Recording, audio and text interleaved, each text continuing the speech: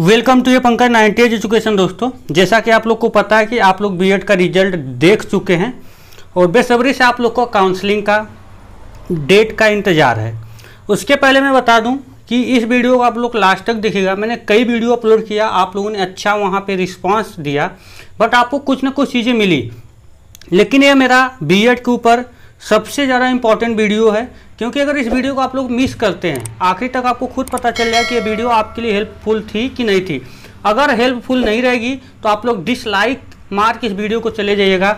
अगर हेल्पफुल होगी तो भाई लाइक शेयर और सब्सक्राइब ज़रूर करिएगा। इसलिए एक एक बात को अच्छे समझेगा क्योंकि आपके मन में जितने भी डाउट हैं, बहुत सारे डाउट्स को मैंने क्लियर किया, लेकिन यहाँ पे सबसे बड़े डाउट्स जो शायद आपको अभी तक नहीं पता था। उसको मैं क्लियर करने वाला हूँ तो इसलिए लास्ट तक बने रहेगा। आइए हम लोग फिर वीडियो में आगे बढ़ते हैं और चैनल को सब्सक्राइब करके बेल आइकन ज़रूर दबाएँ ताकि आपको काउंसलिंग का डेट भी सबसे पहले पता चले। तो आइए वीडियो को हम लोग स्टार्ट करते हैं।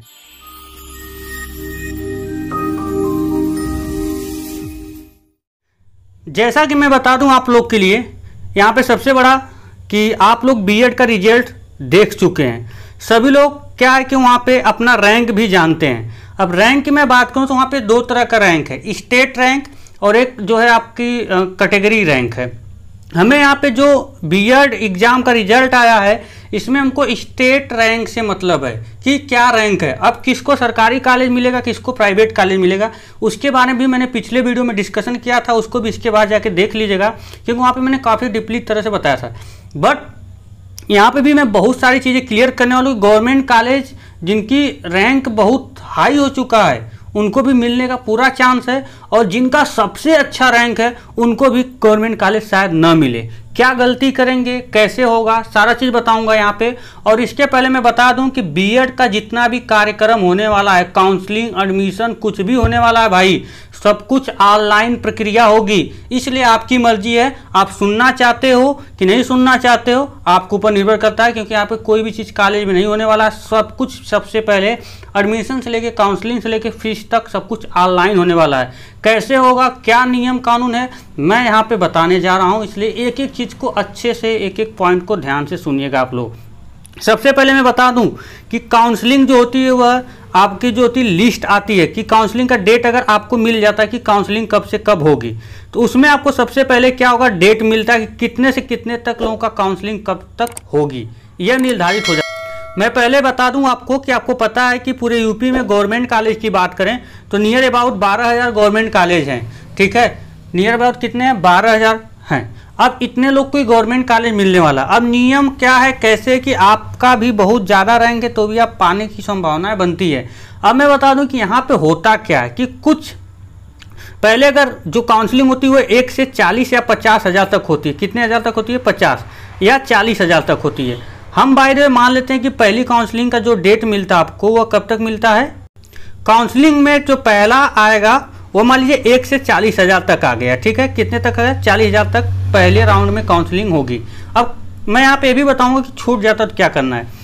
अब एक से चालीस तक होगी, एक से चालीस हज़ार तक जिनका रैंक उनकी काउंसलिंग होगी तो इनको तो गवर्नमेंट कॉलेज फिक्स है। लेकिन इसमें से कितने लोग को फिक्स भाई? बारह हज़ार। बारह हज़ार ही लोग को तो मिलेगा, बारह हज़ार कुछ मिलेगा। ये मैं क्लियर नहीं हूँ कि बारह हज़ार कितनी सीट है। तो जितनी सीट है, उतने लोग की तो गवर्नमेंट कॉलेज मिलेगी। तो अब आपके मन में सवाल हो कि यार, एक से बारह हज़ार तक जिनका रैंक होगा, उनको मिल जाएगा। पच्चीस हज़ार मेरा है, छब्बीस हज़ार है, पंद्रह हज़ार है तो मुझे गवर्नमेंट कॉलेज नहीं मिलेगा।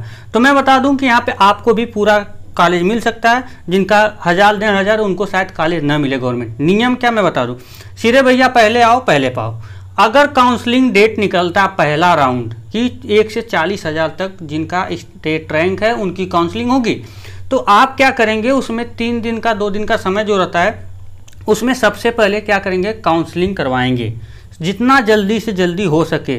आपका पच्चीस हज़ार रैंक बाय द वे है तो भी आप क्या करेंगे काउंसलिंग करें। अब इसमें काउंसलिंग में आप कहेंगे, होता क्या है? तो इसमें कॉलेज को लॉक किया जाता है। मान लीजिए आपके एरिया में, यानी आपके डिस्ट्रिक्ट में कोई कॉलेज है, वहाँ पे क्या है कि सौ सीट है या पच्चीस सीट है तो आप पहले जाएँगे तो पहले उस कॉलेज को लॉक करेंगे। वहाँ पे पूरी लिस्ट आती है। आप जहाँ पे साइबर कैफ़े में करेंगे, वो दिखाएगा जिस जिस कॉलेज का नाम ले, पूरी लिस्ट अब बाई द वे वहाँ पे 25 सीट है। जिस कॉलेज पे आप चाहते हो, पाँच छः कॉलेज है, किसी पच्चीस, किसी पे तीस है। एक कॉलेज को टारगेट करते हैं हम लोग, जिस पे 25 सीट है। अब क्या हुआ कि आप उसको सेलेक्ट कर लिए, यानी उसको क्या किया बुक कर लिए अलॉट कर लिए, उस कॉलेज को आपने क्या किया लॉक करवा दिया। क्या करते हैं, उसको लॉक करवाते हैं। अब 25 सीट आप पहले नंबर के हो गए इस तरह इस तरह करते करते उस पर सौ लोग हो गए सीट 25 का है। शायद 200 लोग हैं तो धीरे धीरे वो कॉलेज क्या हो लिस्ट से हट जाएगा।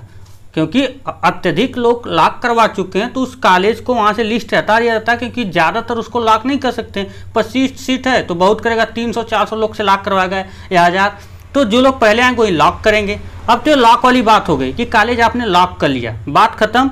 जितने लोग थे फ़र्स्ट राउंड में, उन्होंने सभी लोग कॉलेज को इस तरह लॉक करवा लिया जो जो कॉलेज है। अब आपको जो कॉलेज चाहिए, आप भले पैंतीस हज़ार रैंक वाले हैं, आप कॉलेज पहले लॉक करवा लिए, बाकी लोग लॉक करवाएँ तो आप तो लॉक तो करवा लिए ना कॉलेज को। अब क्या हुआ कि सीट 25 है। अब जिस कॉलेज को आप लॉक करवाएँ, उसमें आपका रैंक पैंतीस हज़ार स्टेट रैंक किसी का पाँच हज़ार है, किसी का दस हज़ार है।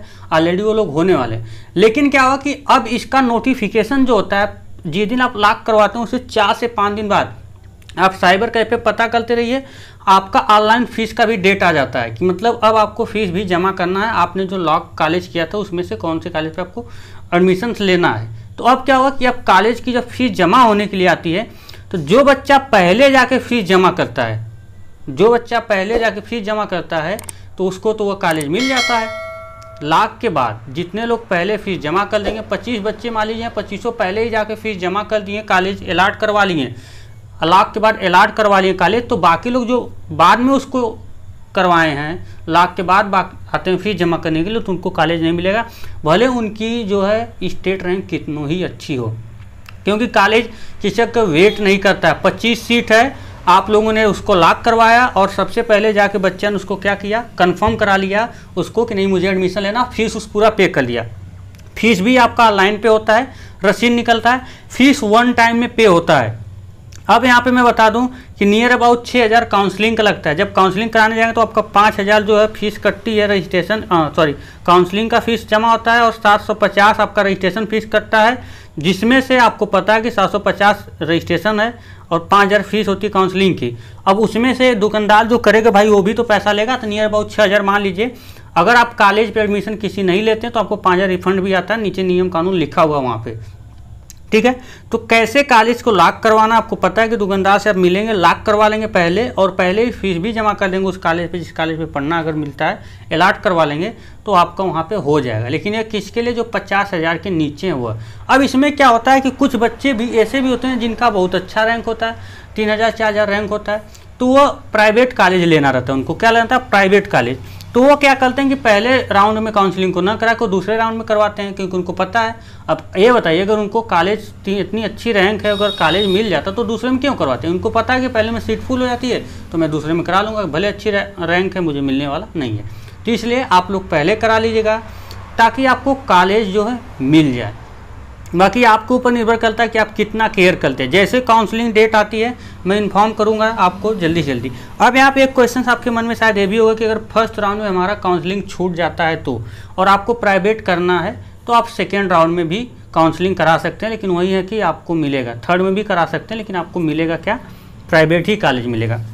तो शायद आपको सारी चीज़ें पता चल गई है, जो कि प्राइवेट स्कूल की लगभग फ़ीस नियर अबाउट इक्यावन हज़ार होती है तो आपको पूरा जमा करना पड़ता है प्राइवेट कॉलेज के लिए, और सरकारी शायद बारह से पंद्रह हज़ार तक फ़ीस होती है, जो भी होती है आप पता कर लीजिएगा, वहाँ पर ऑनलाइन शो करता है, वो भी आपको जमा करना पड़ेगा।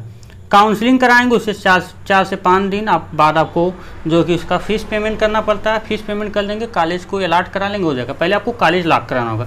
कोशिश करिएगा कॉलेज को सबसे पहले काउंसलिंग करा के लॉक करवाने का। पहले दिन ही लॉक करवा लीजिएगा, जितना जल्दी हो सके डेट आए, तुरंत जाइए, तुरंत लॉक करवाइए। और लॉक कराने के बाद फिर फ़ीस भी पेमेंट करिए। ये नहीं कि आप लॉक पहले नंबर पर करा लिए और दो सौ लोग लॉक करा लिए, सीट पच्चीस है तो जो पहले फ़ीस जमा करेगा भाई उसका हो जाएगा। आपके लिए कोई बैठा नहीं रहेगा, ना ही वेट करेगा। क्योंकि सीट क्या पता आपका वेट कर रहा है, बाद में आप एडमिशन ही ना ले तो सीट बेकार जाएगी। इसलिए वह जो बच्चे फ़ीस पे कर देंगे, उनको कॉलेज अलाट हो जाता है। ठीक है? ये प्रोसेस था वीडियो अगर आपको समझ में आया, बाकी कोई भी कंफ्यूजन हो तो आप मुझे कमेंट बॉक्स में कमेंट करिए, मैं आपको रिप्लाई दूँगा। रिप्लाई नहीं दे पाया तो आपको वीडियो बना के समझाने का पूरा पूरा प्रयास करूँगा। कोई भी दिक्कत हो तो आप मुझे ज़रूर बताइएगा और वीडियो अच्छा लगा हो, कुछ भी अगर आपको जानने को मिला हो, सीखने को मिला तो लाइक करके शेयर किए बिना भाई मत जाना और चैनल को सब्सक्राइब कर लेना ताकि काउंसलिंग की डेट सबसे पहले आप तक पहुँचे। फिर मिलते हैं नए वीडियो में, तब तक के लिए जय हिंद, जय भारत।